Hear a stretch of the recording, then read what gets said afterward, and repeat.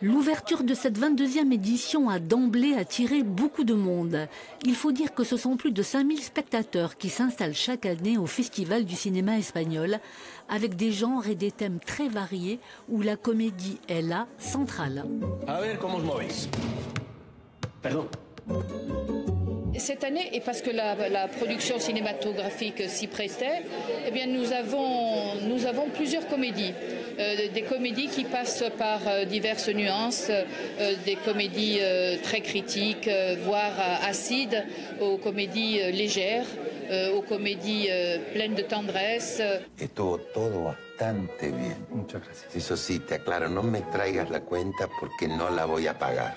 Parmi les 17 films, des chroniques sociales et historiques, du suspense également, et un moment fort pour le dernier jour du festival, avec un documentaire événement sur la période franquiste et la quête de vérité toujours vivace.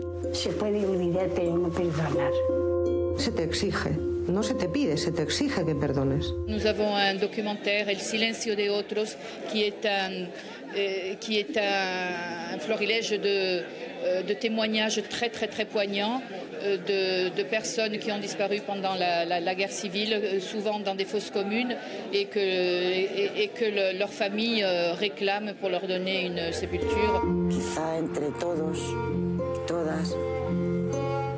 quizá hemos colaborado ¿no? en ese silencio.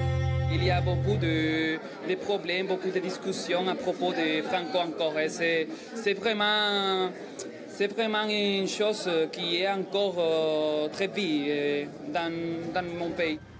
Trois jurys, pro, étudiants et celui de la CCAS, remettront un prix aux six films en compétition, sans oublier bien sûr le prix du public.